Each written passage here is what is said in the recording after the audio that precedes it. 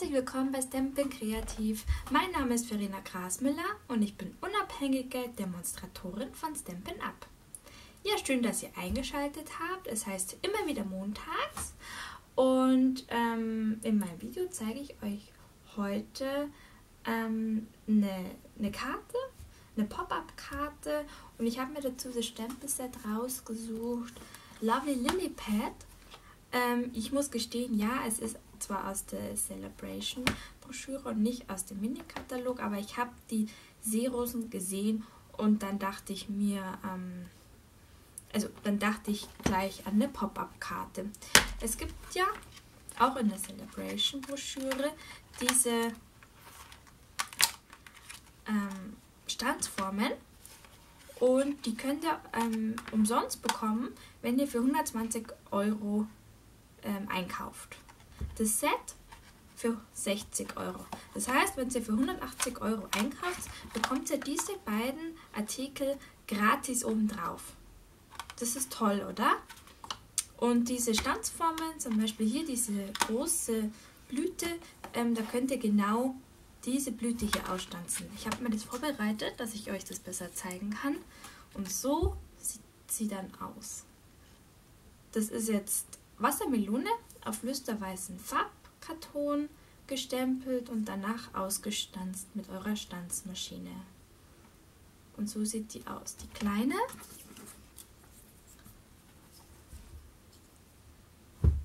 ist hier und das ist jetzt das Seerosenblatt.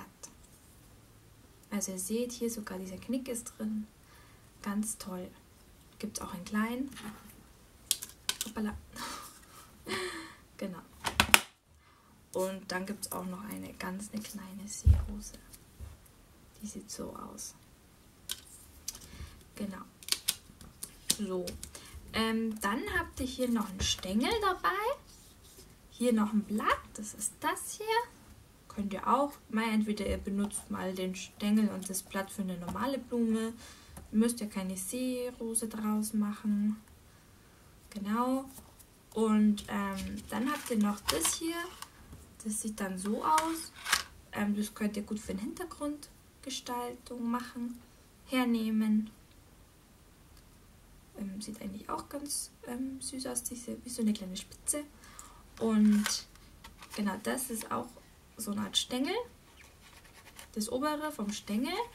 Und das sowie das, das ist für die große, das hier ist für die mittlere, ähm, wenn Sie zum Beispiel das in, in Glitzerpapier ähm, ausstanzt, dann könnt ihr das schön über die große Blüte drüber kleben. Hier passt es so schön drauf. Dann wird das nochmal hervorgehoben. Genau, entweder in Glitzer oder in quasi jetzt in Wassermelone-Karton wird das nochmal ein bisschen eingerahmt. Genau. Ich habe die Stanzformen ähm, auf, diesen, auf diesen Karton belassen, weil der genau nämlich in so ein Stempelset reinpasst. Ähm, ihr habt euch sicherlich gefragt, warum hier die Stempel abgebildet sind. Und zwar ist, falls euch mal einer abgeht, könnt ihr schauen, welche. Also ihr nehmt es einfach hier so drauf. Dann erstens also könnt ihr sehen, ob einer abgeht und zweitens, wie ihr die Stempel am besten hier auf dieses kleine Folienpapier draufsetzt. Genau, einfach Folie hier drüber und Stempel draufkleben. So.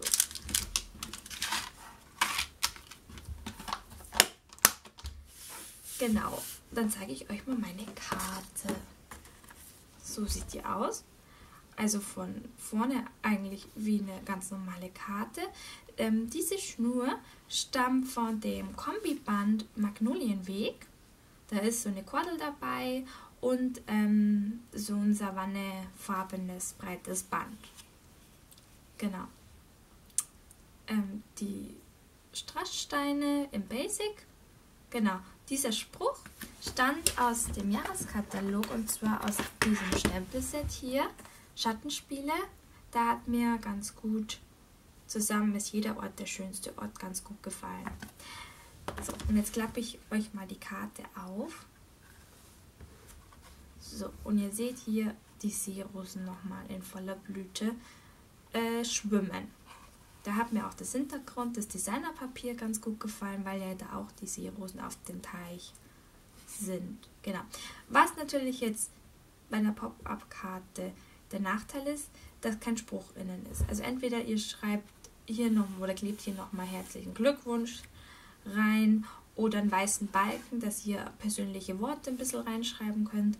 Oder ihr lasst es so, dann muss aber hier vorne der Spruch alles Nötige aussagen, was ihr braucht. Entweder ihr nehmt so einen neutralen wie ich, dann ist natürlich für diese Karte jeder passende Anlass ähm, abgedeckt. Oder ihr macht es hier drin nochmal. Ihr könnt auch statt einer Seerose einen Spruch hinkleben. Geht natürlich auch.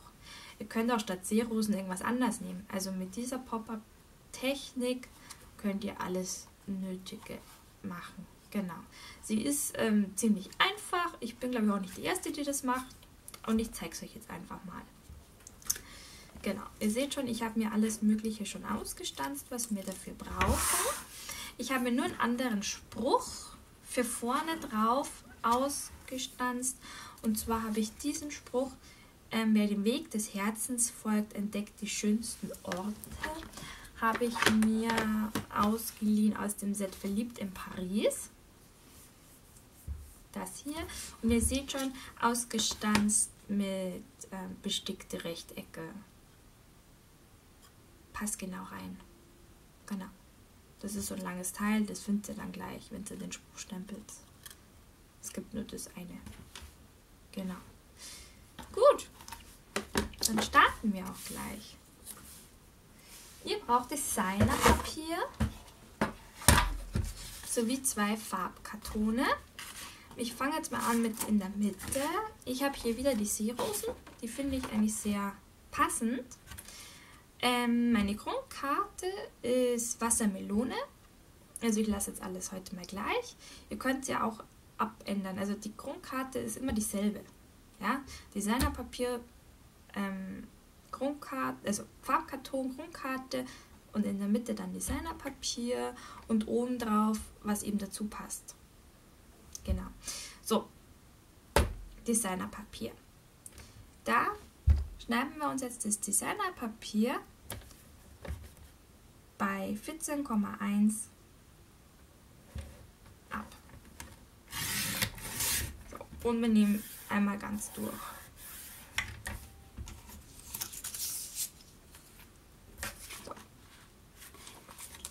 Und dann, nur dass ihr es nochmal seht, also die Karte ist ganz normal und das Designerpapier, seht ihr, ist ein einziges Papier. Genau. Und die Karte misst ja 21 cm und ich ziehe mir hier von 4 ab, das heißt 20,1. Äh, 20,6, Entschuldigung, 20,6 cm.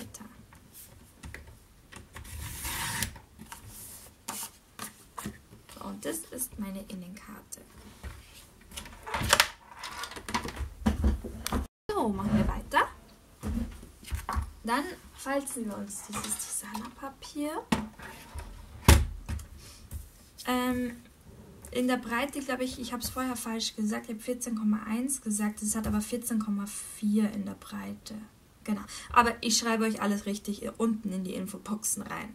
Genau. Also 14,4 ja, mal 20,6. Jetzt sind wir richtig. So, 20,6, das heißt, die Mitte ist bei 10,3. So. Und hier einmal vorsichtig falzen. Genau, nicht so streng aufdrücken, weil Designerpapier ist dünner.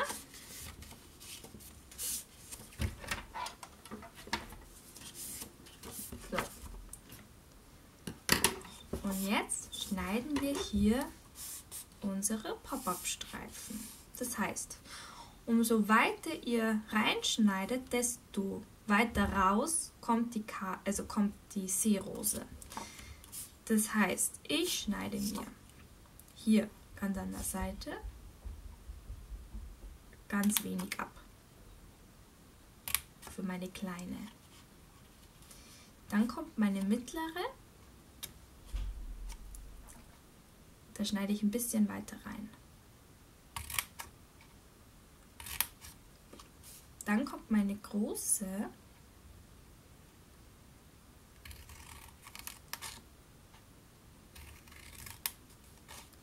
Und dann kommt wieder eine kleine. Bisschen weiter nach rechts, so. Wie du das aufteilst, das ist ganz egal. So. Dann knickt ihr euch das in die andere Richtung und jetzt müsst ihr aufpassen. Jetzt müssen hier diese, ähm, wie nenne ich die? Diese Teile halt hier in die Richtung gebogen werden, zu mir. Und zwar hier unten. Einfach hier. Ihr knickt euch den raus und knickt euch den in die andere Richtung. Dass der halt draußen bleibt. Also einfach hier rausdrücken. Ich zeige es euch jetzt einfach mal beim Großen, weil ich glaube, das Große ist der einfachste. Also, ihr drückt euch den raus.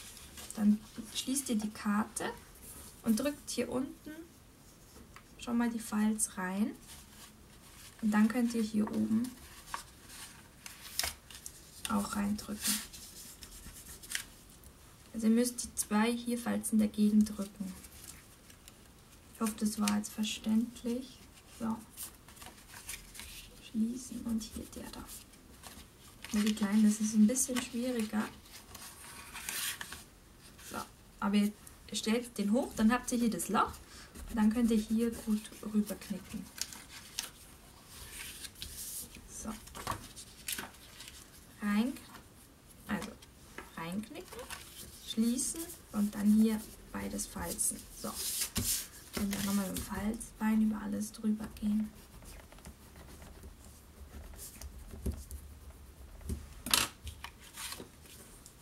Und dann habt ihr eure hier. Eure Pop-Up-Streifen quasi.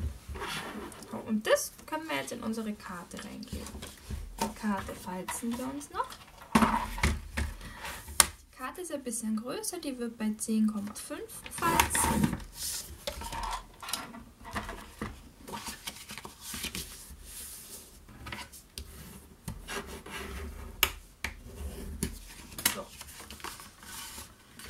machen wir das Ganze auf und legen uns das hier schön in unsere Knicke rein.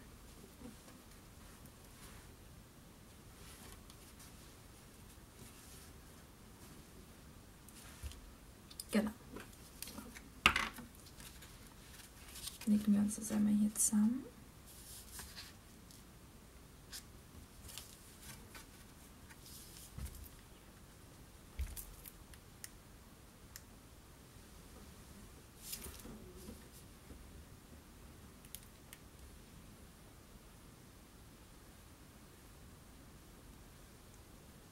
So schön alles klebt. Dann können wir die hier, die oberste schon mal schön reinkleben. Links und rechts schauen, dass es passt vom Abstand und dann schön gerade in, richtig in meinen Knick rein.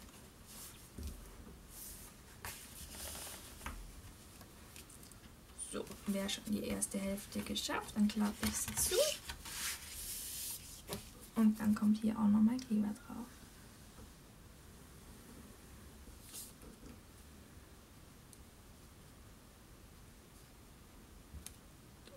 Das war jetzt blöd.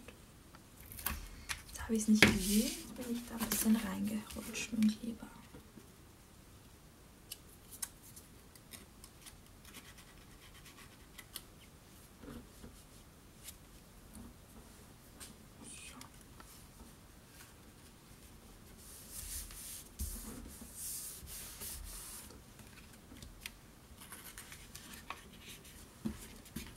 So.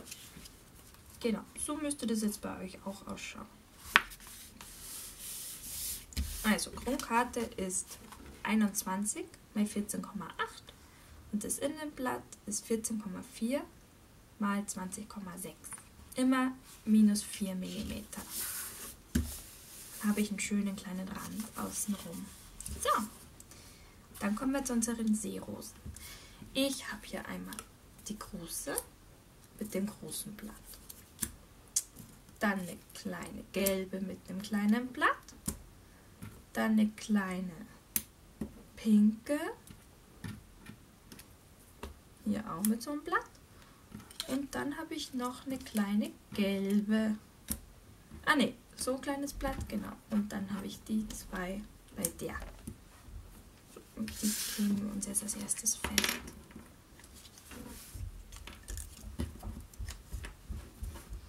Und zwar,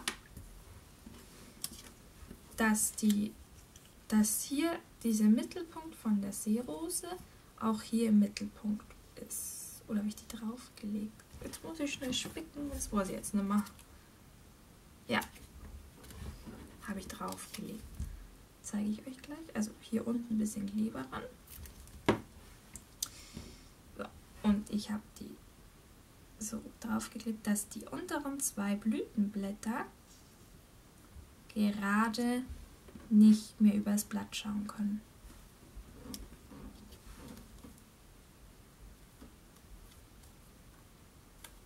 So.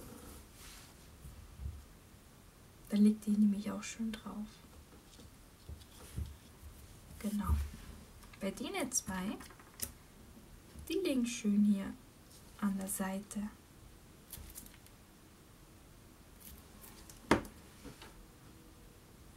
Mich ein bisschen weiter nach rechts versetzt. So.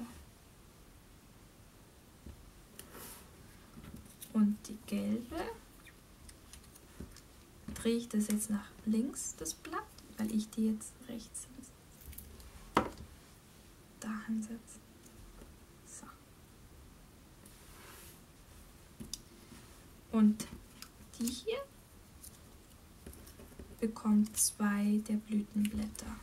Also zwei so Blütenblätter. Dann habe ich nicht nur Seerosen. Genau.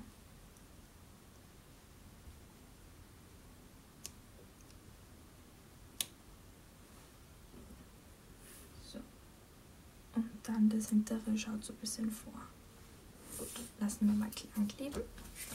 Jetzt. Äh, wir können, am besten wäre genau hier Kleber drauf und nicht bis zum Ende, weil ich will jetzt nicht, dass der darauf squillt. Also nur so minus 3 mm oben und unten von der Falz entfernt. Und dann ganz natürlich aus Papier setzen und dann einfach hier so randrücken an den Streifen. Wie dick der Streifen ist, also soll natürlich nicht so breit sein. Ähm, es langt, also und auch nicht ganz dünn, so 5 mm. Ungefähr.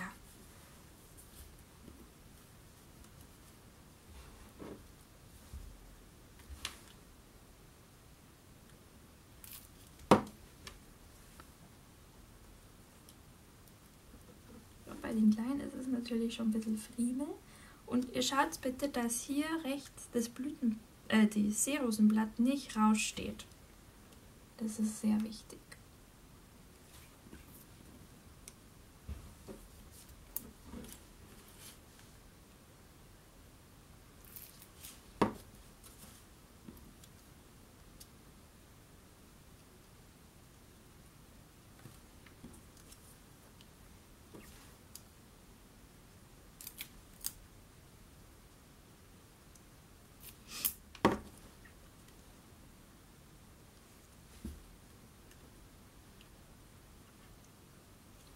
So, und andrücken. Gut.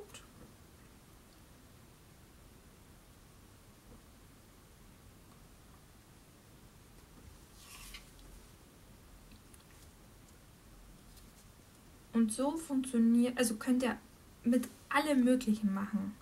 Was natürlich eine, eine große Fläche hier vorne hat, also mit so sehr filigranen Stanzformen geht es natürlich nicht oder schaut nicht so gut aus. Ihr braucht hier vorne schon eine Fläche. Und mit dem Marienkäfer würde ich es probieren und also ich bin da, wäre da gleich dabei. So, genau, wenn wir es jetzt zumachen, dann fallen die, dann fallen die um. Also ganz easy eigentlich. So, können Sie nochmal schön nachfalzen hier.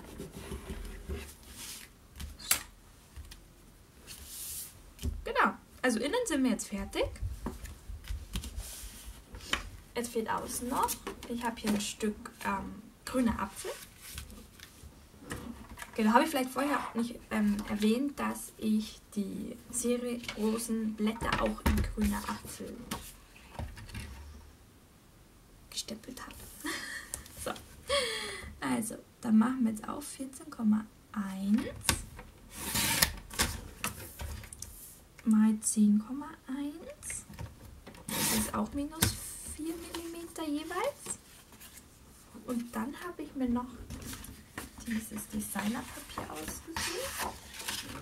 Und zwar nehmen wir aber die Rückseite. Das ist hier das Schöne. So. Und das hat jetzt 9,7 in der Breite.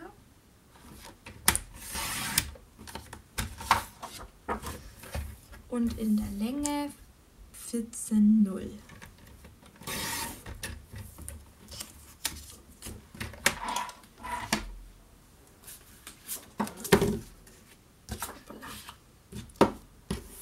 Entschuldigung. Und dann können wir hier die beiden draufkleben. So, dann haben wir es aufgeklebt. Unsere zwei ähm, Papiere. Dann nehmen wir uns nochmal die Stempelunterlage und unsere zwei Stempel für oben drauf. Ähm, in meiner euch gezeigten Karte habe ich jetzt zweimal die kleine Blüte. Jetzt brauche ich sie nur einmal, weil ich dafür ja hier diese Spitze verwende. Genau, sonst wird es zu viel. Also finde ich. So. Und jetzt möchte ich euch zeigen, wie ich hier diese Blume hier ausgemalt habe. Das war ganz einfach, denn diese Stempel von der Seerose sind Wendestempel. Das hat jetzt Stampin' Up ganz neu. Das heißt, du kannst auf der Hintergrundseite auch stempeln. Und das machen wir jetzt auch. Also das zeige ich euch. Genau. Also einmal, Wendel, also einmal drehen und ihr nimmt die glatte Oberfläche und die taucht da jetzt euch ein. Moment. Brauchen wir noch ein Stück Papier.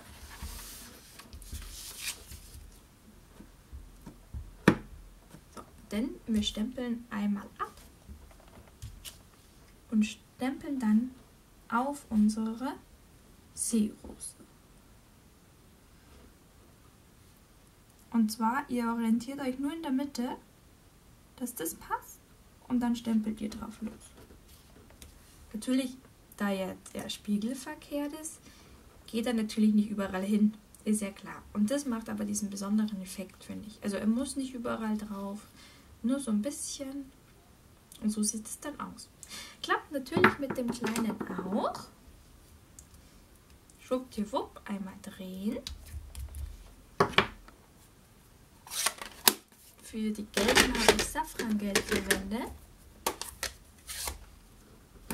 So, einmal hier rein. Abstempeln. Und einmal auf euer Stempel. Also auf euer gestempeltes Motiv. Mal schauen, an was ich mich orientiere. An den da.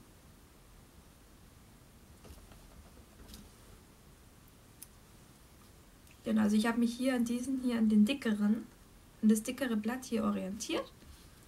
Dann kommst du eigentlich ganz gut hin. So. Und ich finde das eigentlich ganz gut. Ist gleich gemacht, muss man nicht viel kolorieren.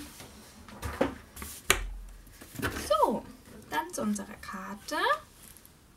Ganz schön. Und hier habe ich ja den Spruch von Verliebt in Paris. Ich dachte mir, wir kleben uns den jetzt hier so drauf.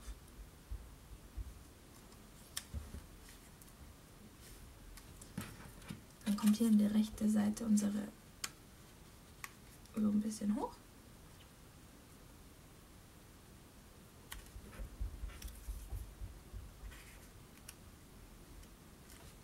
Und hierhin unsere Schleife.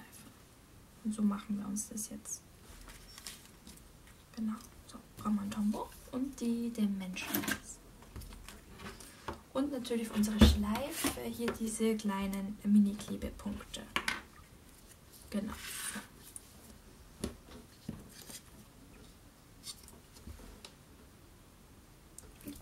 Gebe jetzt hier auf den Balken Kleber drauf.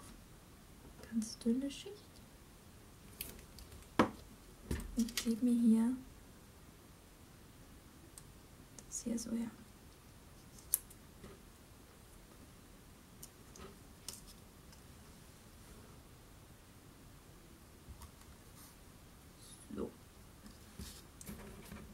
kommt hier die Rose. Und auf das kommen jetzt die Menschen. So, da setze ich jetzt ein Hindernis schon mal fest.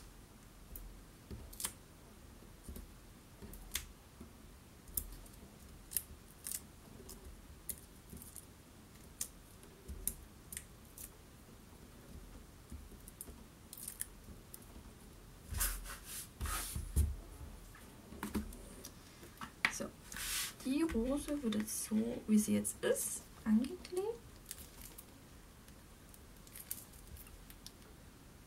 Die wird nicht mehr verrutscht.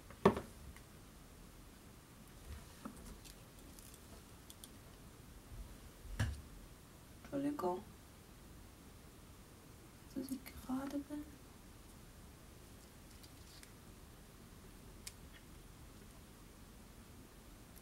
weiter noch so. Und sieht man das Wehr nicht.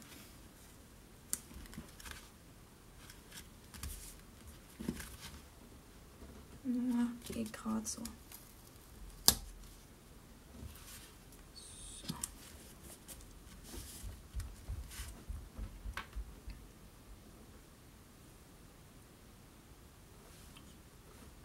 Wieder, wir kleben sie hier drauf oder wir kleben sie wieder drunter oder hier hoch.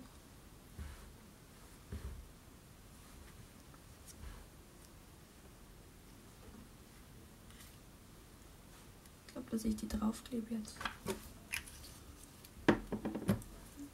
Das geht auch ganz einfach. Ihr müsst euch hier ein Kludot so eindrehen auf so ein ähm, spitzes Dingens. ähm, auf so ein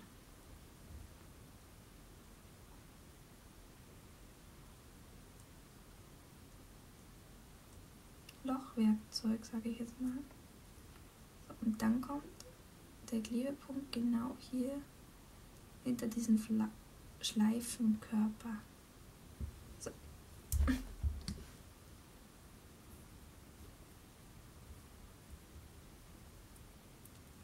Und jetzt klebt er genau dahinter.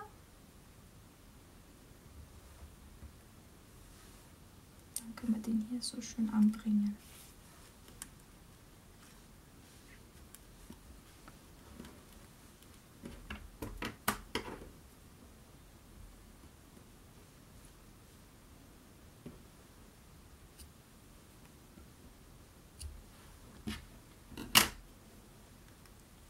Wenn das jetzt ein bisschen wegsteht, machen wir einfach noch den Menschen hin. Schneiden wir uns das eins auseinander. Wir brauchen nicht viel. Und die Ecke hier unten, weil das immer so ein bisschen hochkommt. So. Jetzt klebt es fest. Unsere Schleife. So, jetzt natürlich noch Perlchen. Brauchen wir auch noch. anfangen.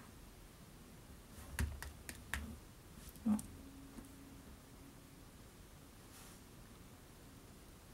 Die kleinen an. Dann wir mittler.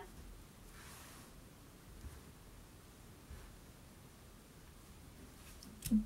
So. Genau. Dann sind wir schon fertig. Also wie gesagt, ganz einfach. Wichtig ist, dass vorn der Spruch viel über diese Karte aussagt.